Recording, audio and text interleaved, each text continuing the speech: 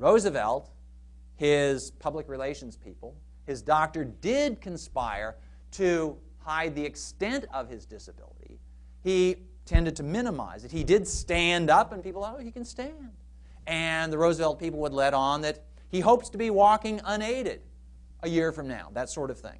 But they all knew that he had had this very serious physical illness. And in fact, the, the fact that he had had this illness led to this huge ovation for him at the National Convention that year because of his courage in simply being there. So it was no secret.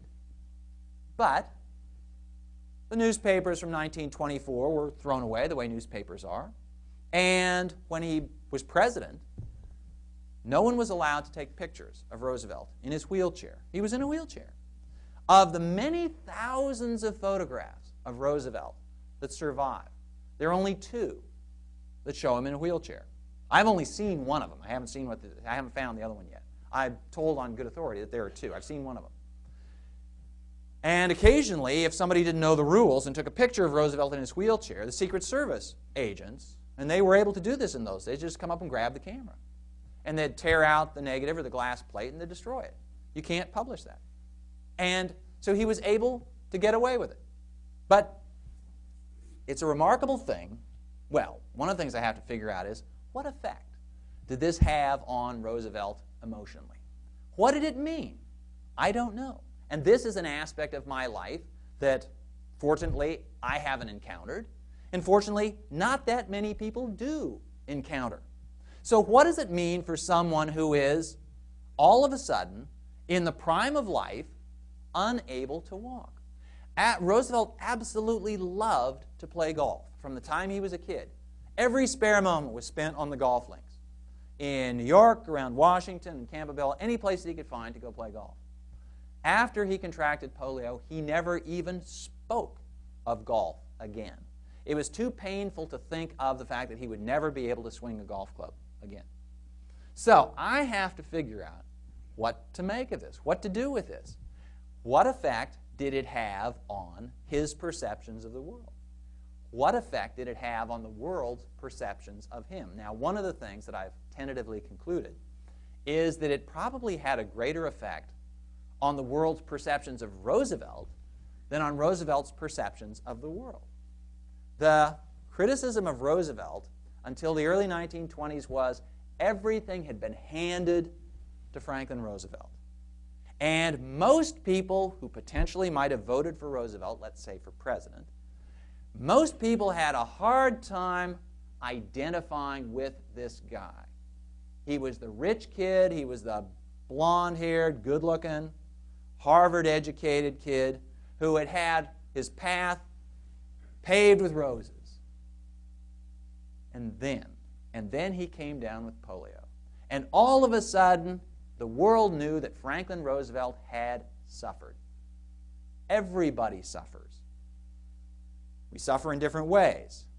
One of the reasons we vote for president, we don't vote for president because we think they have the best policy on this or that. We don't vote for president because they have the best resume. We vote for president because, when I say we, most voters, I think, and please perhaps could differ with me on this, but I think most people vote for president because of something in that president, that candidate, it makes them feel a certain way. They feel reassured. They feel as though this person understands them. They feel as though this person somehow represents what they want to be. Just take, I'll just pick one election out of the blue. The election of 1980, Jimmy Carter ran against Ronald Reagan. By no stretch of anybody's imagination, Democratic or Republican, did Ronald Reagan know as much, anywhere near as much, about policies, about governance, about the, what you really need to know if you want to manage the country. But Ronald Reagan won. Why did Ronald Reagan win? Because he made Americans feel good about themselves. After Vietnam, after the economic reverses of the 1970s. And that's a perfectly legitimate reason for voting for somebody for president. And when Franklin Roosevelt ran for president in 1932, he had less experience, certainly, than Herbert Hoover. Now, of course, the, the ongoing depression was a really big deal. And Herbert Hoover probably couldn't have beaten you know, the local dog catcher. However, people responded to Franklin Roosevelt at an emotional level. They responded because, and one of the things I'm going to have to sort out is how effective was the New Deal?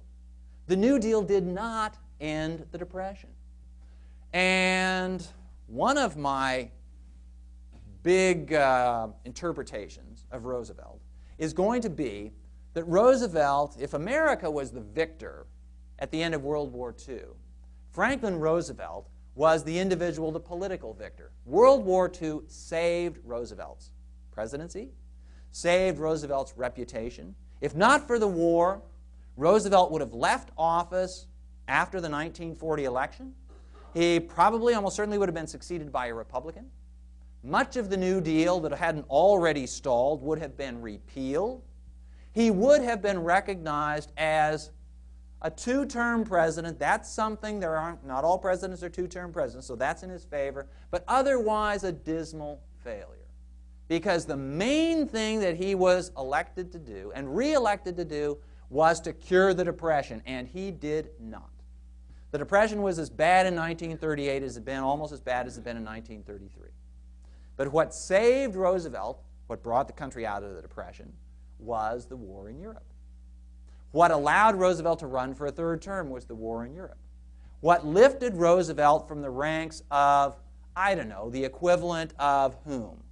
Uh, maybe better than Ulysses Grant, but uh, you know James Madison maybe. Madison was a great constitutional framer and founding father, pretty lousy president. Okay, two terms but lousy. Franklin Roosevelt would have been in that category, maybe worse, because he would have been president during the longest depression in American history. And in fact, there are economic historians, there were plenty of economists then, who said that the New Deal simply aggravated the depression, extended the depression. And Roosevelt historically would have had to deal with that. He didn't have to. The war came along, saved it, saved the New Deal, saved his reputation, and allowed Roosevelt to enter the ranks of the pantheon of the American presidency. Now, I've gone on much longer than I should have, and I haven't even gotten half of what I intended to tell you. I apologize for that. Do we have time for questions? Okay, I'll be happy to try to answer your questions. I hope I didn't wear you out sufficiently. Ah, there we go. Yes, sir. Yes. David McCullough once said that uh, you had to feel history in order to understand it. Is there an event in your life that made you feel about history to where you wanted to spend a lifetime studying it? Uh, I can't point to a particular event. I can point to a period in my life that made me decide that history was interesting. And it had nothing to do with school. In fact, it was beyond school. After I uh, finished college. I graduated from college with a bachelor's degree in 1975. I didn't know what I wanted to do. And um, my family, I mentioned my father earlier, one of the reasons he was a staunch Republican was that he was a self employed businessman. He, there's a family business. And I was raised to go into the family business. I have the same name as my father, who has the same name, had the same name as his father, had the same name as his father before him. We were Henry William Brands is right down the line. I have reason to believe that I'm actually Henry VIII. But anyway, for want of something better to do, I decided to try my hand at the family business. The family business at the time, it's evolved. The family business at the time was the import and wholesale of cutlery, knives and scissors primarily, with a little bit of hardware thrown in on the side. And everybody who entered the business, especially members of the family, started at the bottom. Actually, I started in the, the warehouse when I was about 10 years old. And I spent every summer working for the company.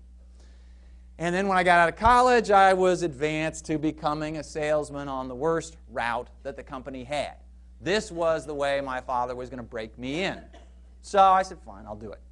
My route covered the territory from Portland, the, the company is based in Portland. I grew up in Portland, Oregon company was based in Portland. I got territory that stretched, it was a thin territory. It stretched from Portland to Denver, ran across the Great Basin.